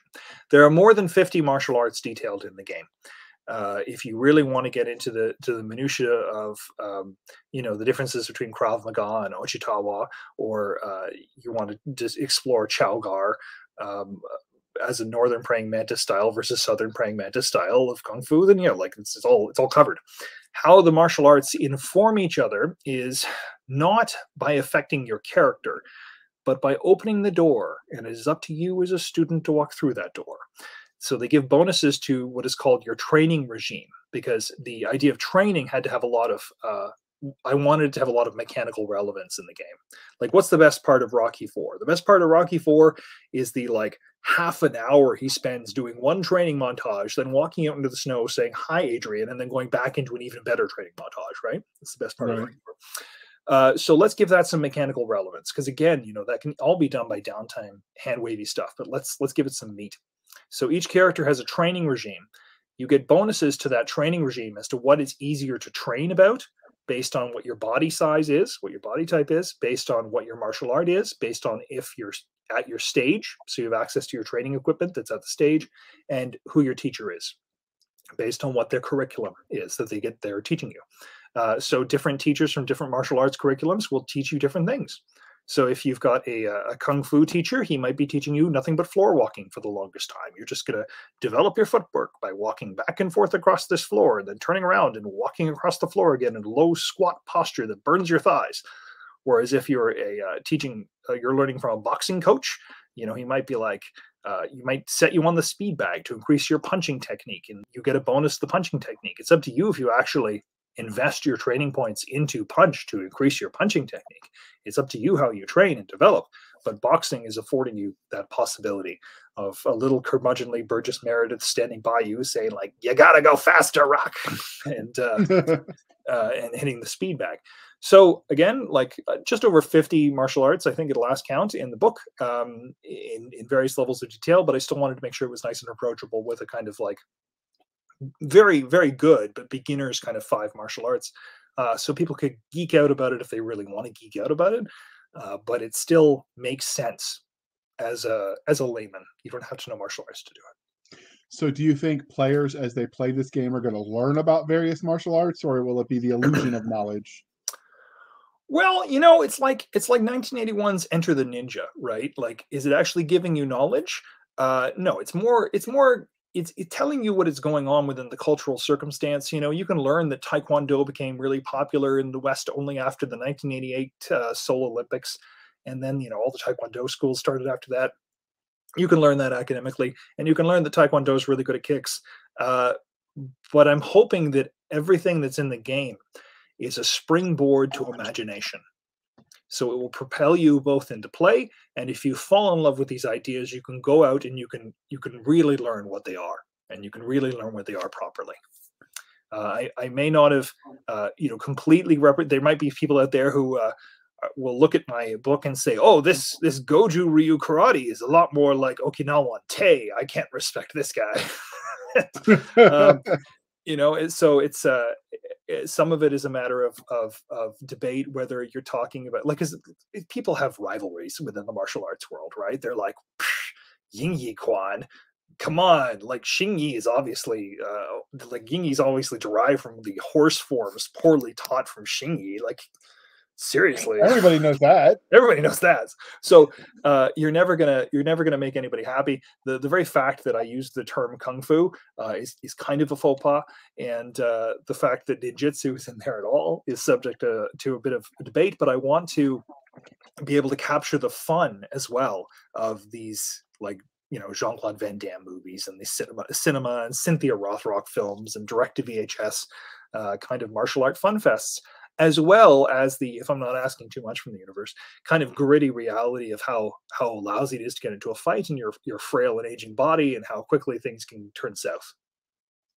So you did mention one of the, the components of your game is that generational play because you know the game can span a lot of years. So when you say, okay, my character X is going to retire, mm-hmm. now is it a, a, situation where, well, my character might be retiring, but now he's picking up coaching and he's ca- coaching my next character to keep them in the game, or is it eh, once they're done, they're basically done? Well, it could be. It depends how they did it. It depends how they left right? Because if uh, there's a number of different options as to how uh, somebody can succeed you, uh, being your player character. One of them is that they died in battle, or like died in a fight, or died as a result of their wounds, or just died being hit by a car, and that dictates certain things that you get to inherit. If they decide to teach you everything they know and then leave and be like, "I'm retired," that that gives you a certain set of stuff because each character kind of builds on the last one. Right. Uh, and if they decide to continue on as your teacher, that gives you a different set of stuff. So either way, they recede into being an NPC, so to speak. Uh, but what their role in the game going forward is, you you get to dictate that to the GM. Be like, no, no, no, I still want my character to be around. It's just they're like, you know, pushing 60 and and I've like my son is like in his 30s. Like let's let's start using the son character and he'll be my player character. And I'll be like, okay, but once you cross that Rubicon, uh, there's no going back. And like, how do, how do you want him to go out? And he's like, well, I think he just needs to step back because you know he's he's he's dealt with such horrible injury. I'm like, okay, but you know, uh, if you want to continue as a teacher, he he gets written down as one of the comforts. And I'm like, okay, but just so you know, your old character's on the chopping block now. Like this is oh, because you could get rid of the character when you're getting rid of the comfort. Exactly. Yeah. So uh, okay. Uh, so it's uh it becomes very it can become very dramatic when people are like no my teacher oh like and, uh, so it sounds like this game relies really heavily on the individual players getting into the role playing aspect of it as opposed to being crunchy and mechanical well, you know, if you have a, I've often found that if you have a system without initiative, the people who speak the loudest at the table get to go more, and the people who are shy at the table don't. And so I've always been very cognizant of making sure that there are structures in play, uh, both to reward creativity, but also to level the playing field in terms of equal time and spotlight. So uh, does the game reward and flourish with creativity? Yes, absolutely. But I think there's enough mechanics in place. There's enough slides that are greased that it's easy for people to uh, follow one step into a few available options, just given the the genre that we're talking about and the kind of structures that would exist within this genre. It's people find it very easy to role play, even people who are uh, typically very shy at role playing, because uh, the situation is kind of presented for you in some ways. Like again, it's a springboard to action. So you can look at your hardship and you can know, oh, I'm stressed out, and I need to go to Riva's Diner. Well, what what are you doing? Like, how are you using Riva's Diner to not be stressed out? And you're like, I don't know. I'm just getting a coffee. I'm just gonna sit and have a coffee. I'm gonna stare out the window, and I'm gonna like just enjoy the city nightlife a little bit. You know, these are the kind of things that you get out of people that typically wouldn't get into a role play like scenario and it ends up enriching their character quite a bit because it doesn't have to be more than that right? Like just you know let's let's touch on these ideas just enough to keep them going and to keep things going in a mechanically relevant way so we can always return back to okay what does that mean in terms of the numbers in terms of the mechanics in a way that's not too complicated to keep track of uh, we know that we've checked the box of like, okay, you had a hardship, you you overcame the hardship by applying the comfort. You know how much that it, it helps you. It didn't, you know, wipe out your hardship. You're feel, still feeling stressed out, but it's just not as bad. Uh, and then we know what happens next. We know that oh, you know, the, thugs are going to come in and try to raid the diner, and because they want to like uh, toss the cash register, and are you going to get involved? And and then the character has to sit there because it's ultimately again about hard choices the character has to sit there and be like, I don't know, I got a lot of injury from melts earlier in the year, and I don't know if I can survive. I don't know if I want to do this, but like I've got to step up.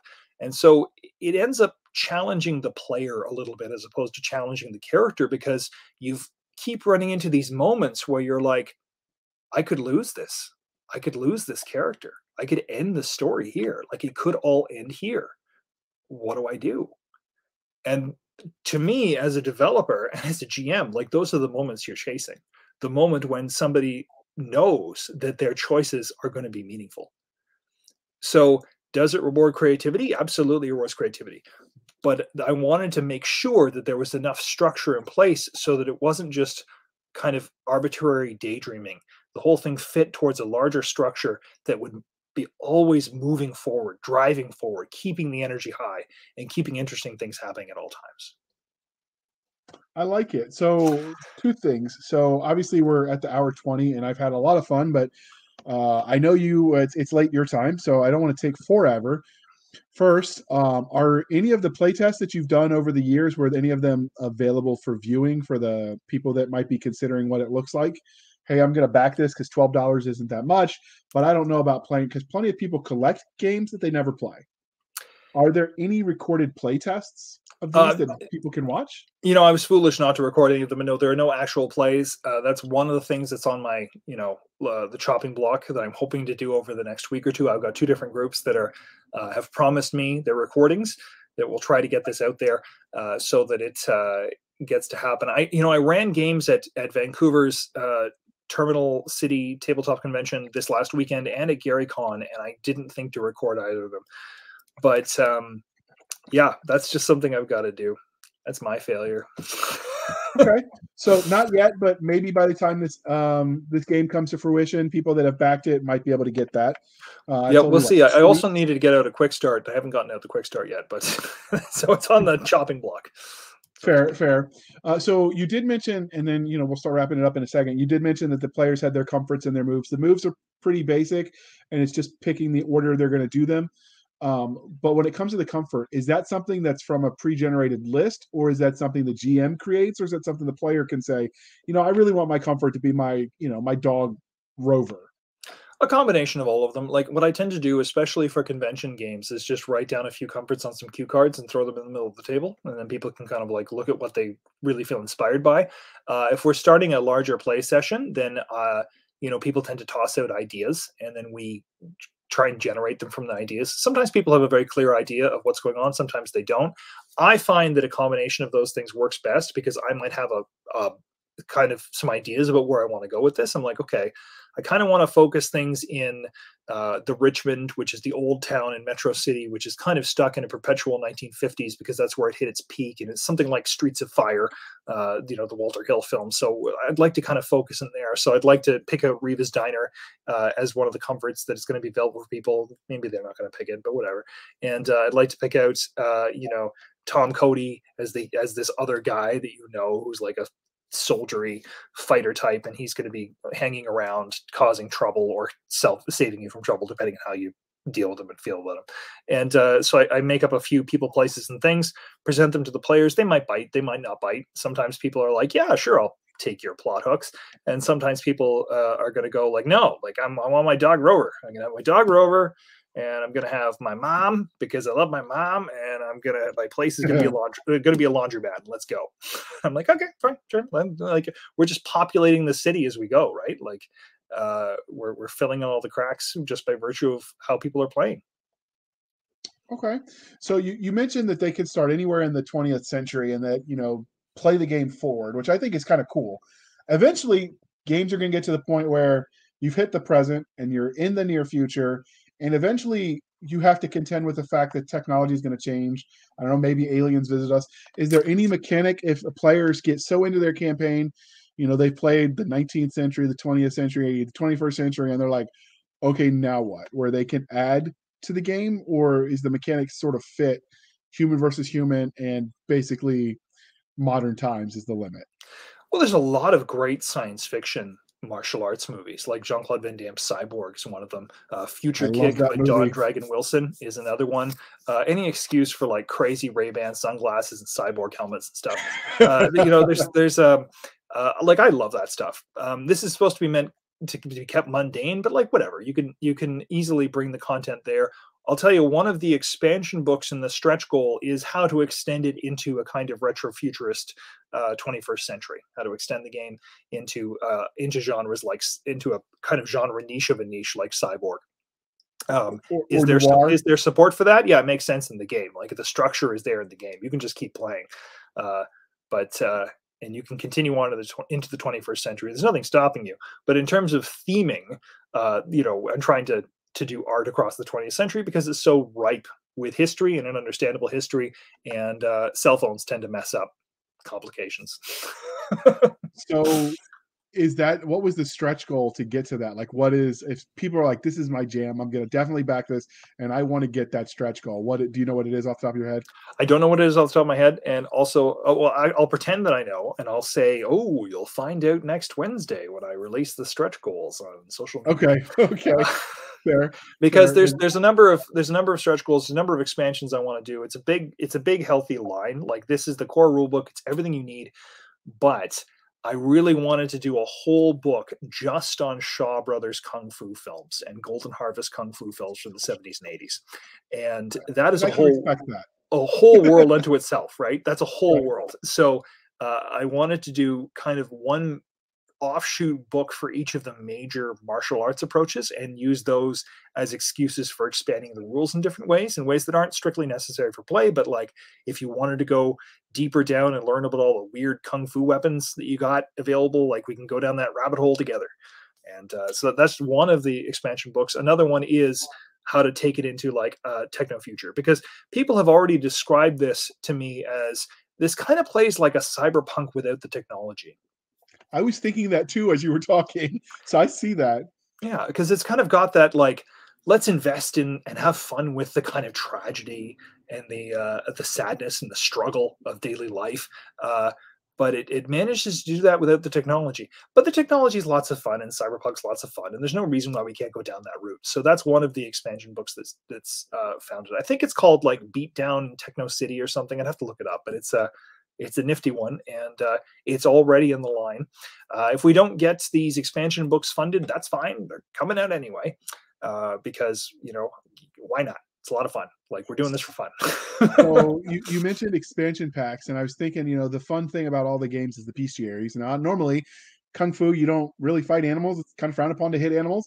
But I also know the Polish, for instance, enlisted a bear that fought with them in World War II and even loaded ammo. So there are some animals that are capable of assisting in a fight. Is that something to be incorporated? Well, you know, uh, it, they say that Chen Sen Feng, who uh, developed the first style of Taiji Quan, uh, once used the carry tiger to the mountain technique to rip a leaping tiger in half. Uh, so that's that's a kung fu myth or, or, or legend. Sorry, kung fu legend. Uh, so there is a lot of interaction with animals that could be had. Uh, could you fight with animals? Yeah, absolutely, you can fight with animals, but the, the diff because it can work within the mechanics. But the default is that you get the kind of character and the motivation of fighting with other people. And okay. in each of these expansion books, there are going to be reams and reams and reams of opponents so that you can broken down by era and uh, with a little description of what they're doing and why they're there and what's going on uh, without being too hefty because like i've done bestiaries before where you take up a, a, whole page for one monster and that's great and it's colorful and like it's, it inspires you forward but like let's be practical and pack a lot of stuff into a narrow space so that we can really use it. Uh, you need to come up with about like I don't know two or three, maybe four or five uh, opponents for the structure of a year. You might not use them all and then the people end up becoming recurring villains like Shredder on Ninja Turtles. You know, they're like, oh, "I'll get you next time. I'll get you next time, Turtles," and then you end up seeing them like every couple of years they'll come up as the problem until that that situation eventually reaches a crescendo. So who you populate as your kind of opponents is important. There's going to be lots of opponents in the core book, and then each of the expansion books will allow me to go even crazier down the little rabbit holes of of genres within the martial arts structure that can be used. Like the Kung Fu book can detail, uh, you know, Pai Mei, for instance. Uh, it can de de detail uh, San Te from 36 Chamber of the Shaolin. It can detail the five deadly venoms. Like I can get uh, crazy specific in a way that I couldn't in the core book. Uh, but uh, the core book, general purpose, last you for years because I'm pretty adamant in the fact that like everything you need to play should be in one place. Right. Uh, I've been getting very frustrated lately at the number of, especially indie digest uh, five and a half by eight and a half books that come out that don't even have the character sheets in them. And I'm like, yeah, I know that they're on PDFs, I know, but like, come on, like, let me read the whole thing in one sitting. Like, let me, let me go over the whole thing. So uh, everything will be in the book. Uh, some of the things will be available separately, like play sheets and, and things, but it will all be in the book, and everything you ha- uh, ever want with the game will be in there. And then for those of you who are crazy about it, like me, uh, you can follow me on this magical journey of bringing out these smaller splat books. So we talked about Cobra Kai. So this gonna be my last question, I promise. But uh, this is fascinating to me, and I'm I'm gonna have to see if I can wring some quarters out of my pocket to back this. But uh, the like Cobra Kai, Karate Kid, like all of that was built around the concept of the school, right? You're part of X school. Uh, a lot of it was arena based, but is there a feature built into the game, or is it would just be more of the theme where you could be part of, I don't know, not Cobra Kai, not Cobra Kai Dojo, for instance? Oh, of course, of course. Like the teacher that you choose, like Mr. Miyagi, is part of the Miyagi Do school, right? Whereas John Kreese is part of the uh, the, the Cobra Kai school of Tang Soo Do out of out of Korea. And so those some different methodologies, and you end up getting no matter what you do, you're going to end up getting into like rival dojo concerns. Uh, and uh, if that's your jam and that's what you want to lean into and that's what you want to deal with, then those things end up getting played up a lot, and it's uh, it's a lot of fun. I think Cobra Kai is kind of the perfect petri dish for representing this game because people fall into misunderstandings and little dramatic bits, and then they end up having to fight, and and then uh, it all kind of crescendos in the big school hallway fight at the end of the, the, second season. And what happens as a result of that? Well, now everybody is in more trouble, and violence is harder to get into because there's all these lockdowns, and it's a great game for reper- or a, ga- a great show for repercussions. It's not perfect, but you know, I, no, whatever. It's fun, uh, and that's um, sorry that's easily the kind of thing that you can achieve in Fight to Survive. Uh, just like how a game of Dungeons and Dragons, people often start off thinking, I'm thinking Lord of the Rings, they end up at Holy Grail. Uh, sometimes you start off with like thinking of a blood sport in Fight to Survive, and you end up with a Miami connection.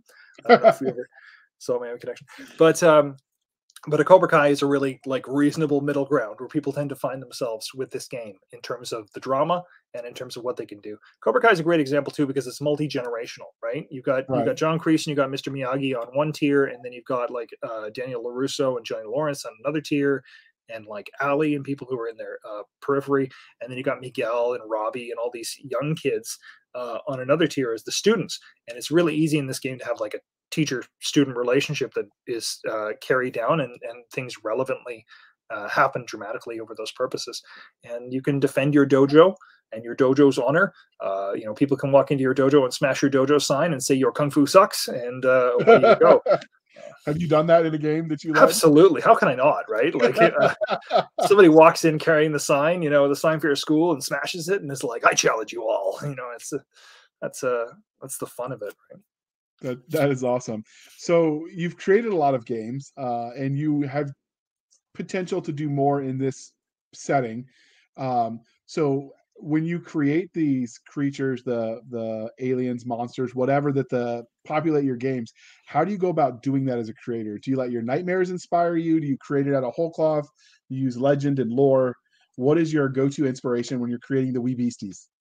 Uh, well, I'm an academic, so I, I go into research mode and I you know hit JSTOR and I do a lot of deep diving into research. When I did uh, Creatures from Fairy Tale and Myth for Pendelhaven Press, we went really deep into some of the biz- most bizarre monsters that you've never heard of, like the Boogelnaws, who is a kind of um, corn Cornish shepherd that will lead you off cliffs instead of tending oh. a sheep you know things like that like like monsters that are really really out there like the difference between the huldufolk and the huldra uh, of slavic myth and, and trying to dissect what it is what what exactly is going on uh, which one of them has a hollow back and uh, what happens if you fill that back. And uh, the, my personal favorite one of them was the Glaistig, who is kind of like a ghost, but she drank a lot of water. And as long as she drank enough water, she was substantial. And if you treated her well, she made an excellent wife and would run your castle very well. But if you didn't treat her well and she didn't drink water, she would become a ghost and haunt the castle, and she would be displaced in time and give you warnings from the future. Uh, so yeah, and that's all from history, right? That's all already history that's been done. Uh, it's just there for the plucking. So let's take it out. In terms of Fight to Survive, I've just watched a crap ton of bad, wonderful, bad martial arts movies. Okay, I'm gonna I'm gonna waste your time here, but I am gonna tell you. So I was watching American Kickboxer 2 the other day. It has no relationship to Amer- American Kickboxer 1. It was a 1993 film. It opens on a wealthy couple uh, with their daughter uh, in a mansion, like some kind of Beverly Hills mansion or something, and the daughter's playing in the pool, and the husband and wife like get distracted in the kitchen or whatever, and then there's a helicopter that comes out of nowhere, and a guy jumps out of the helicopter on a ladder and into the pool and kind of clumsily shuffles around the pool, and then kidnaps the daughter, and they fly away, and they get a menacing phone call with a ransom demand. So in terms of trying to represent that and fight to survive, it's like, oh, the daughter is a comfort, and the comfort is now under threat. Uh, you know, so you take that hardship, and then you have to go out and get the daughter back. So the plot of the movie is the next thing that she does is she phones up all the guys she was dating at the time that the daughter was conceived, who all happened to be expert martial artists. And then all these expert martial artists have to go on a quest to get this daughter back and I, am like, this is a stupid movie. And I loved the setup. I was like, this is a really, this is hilarious. Like all these, all these guys are like, yeah, the, the, the kid might be mine, so I'm fighting for her, and then going off and getting into these fights with like, I don't know, Colombian drug lords or something. I didn't pay attention to that part, but the the the setup was wonderful, and I think that there's a lot uh, to discover in this genre uh, that is unmined that we can really appreciate at the table and we can appreciate mechanically and relevantly in a game like Fight to Survive. So, what do I do for research on the beasties and the opponents? I watch a ton of bad martial arts movies. I play a whole bunch of fighting games, uh, and uh, I immerse myself in the world, and out comes these characters. All right. So, do you have an archetype built for Chuck Norris who cannot be defeated? Of course I do. Of course I do. Chuck Norris was a was a very accomplished man. Like uh, uh, you know, he, he he did Tang Soo Do actually, which is a Korean form of karate. Uh, he did many other other martial arts, but his foundations are in Tang Soo Do, which is why he can punch uh, and kick pretty evenly. Because Korean martial arts are typically known for their foot their their kicking, but uh, uh, karate gives him a solid foundation of punch. So he's got really good overall structure, and you can really see that in Return of the Dragon and the Colosseum fight with him and Bruce Lee. Uh, and interestingly, Tang Soo Do is what Cobra Kai is supposed to be learning. Right, it's a more kickboxing form of karate, which is why Johnny Lawrence does the kicks. The kid, uh, kicks get chicks. So uh, how could Chuck Norris not feature in uh, in a structure like this? I, even if I'm just taking from his like I don't know Firewalker phase or his like Invasion USA mullet, uh, you know he's got to he's got to appear somewhere.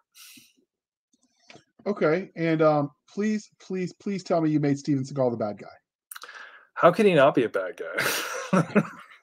I know people who absolutely hate him, but his... I, I appreciate that ponytail, but uh, otherwise he's uh he's like he's a, he's a tall guy, right? He's he's six four, he's my height, but he's um uh yeah uh my my I I don't know, like it's hard not to like Under Siege and Above the Law, right? But uh, beyond that, I, I don't have much uh, uh you know, I don't have a tremendous amount of respect for Steven Seagal. Like, certainly, if if I ever did, then the watching him be a police officer on a, on a live action show really. Yeah, that was that was cringe. Yeah, but uh, but yeah, but he does represent nothing... a certain trope of the time, right? Like the right. the art of fighting character Robert Garcia was largely based on Steven Seagal, and he's a probably more interesting character than Steven Seagal is. But uh, uh, yeah, there's a lot to um, there's a lot you can mine from that. There's a lot that you can be inspired. Again, like everything has to be a springboard for the imagination and a springboard into action. So clearly, this is winding down because I will keep talking because I love this stuff too. And uh, we do need it to be short enough we can actually fit it on the YouTubes. So, uh, was there anything that we didn't ask that you wanted to tell us before we wrap this up? Besides, obviously, go back to Kickstarter. Um, no, just obviously go back to the Kickstarter. We're 77% funded now. Uh, we have the handicaps that were neither 5e nor powered by the apocalypse. Those are our uh, handicaps. It's a niche system. It's a strange system. You know, I, I explained to you the rules. Uh, some people find it find it to be a learning curve if they're coming from OSR or something, and that's fine. Like I can blow people's minds. That's that's something we can do. Um, but uh, it does take some getting used to. So it's a little bit harder of a sell in some ways, and it's a niche setting right? Like we're not throwing fireballs, we're not doing something fantastical. Uh, there are quite a few kind of fighting game, role playing games where you can play an anime like character. Uh, we don't need to do that. We're a little bit more uh, grounded. Not to say that one thing is better than another, but this is just this, this is the direction we went, and this is the direction I like uh, for things like I don't know if you ever saw. Um, the Charles Bronson film Hard Times, 1975.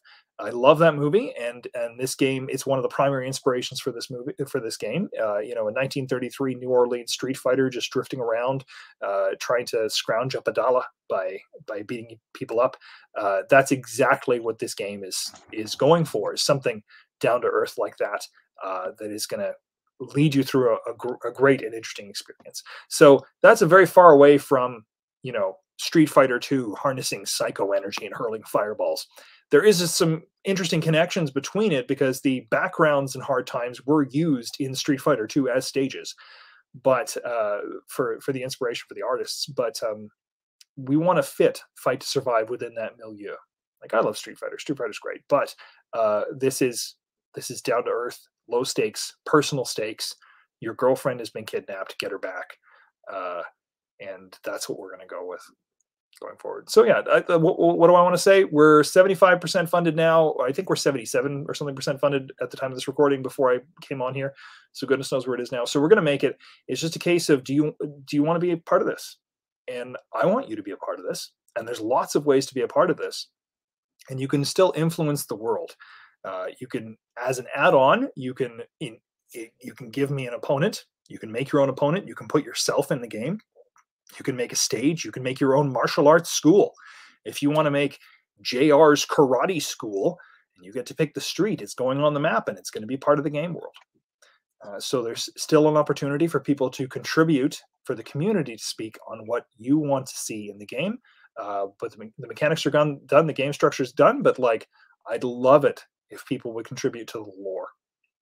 All right. So this is as true for for games as it is for books. So we're going to remind you, dear listener, that uh, please be kind and speak your minds on the reviewing platforms. Your reviews help the right readers and players find the right books and games. Um, so do the thing. And I happen to know if you buy it through DriveThruRPG, they do have a review feature. Uh, there are other RPG digital vendors that and they all um, the ones i've seen have all allowed you to review the products uh, if you can't review it there but you back kickstarter start a blog and review it on your blog i don't care do the things people but but spread the good word of the books and the games that you love because they help your creators have the ability to reach more people and spread so they can keep doing the things so now that we've got that out of the way, it's sort of our thing. We remind people to review products. James Kerr, um, can you tell listeners how they can find you? You can find me at radiojamesgames.com. You can find a Radio James Games Facebook page and Discord. And for the next little while at least, you can search for Fight to Survive role playing martial arts meets heart on Kickstarter. And the Kickstarter is on now.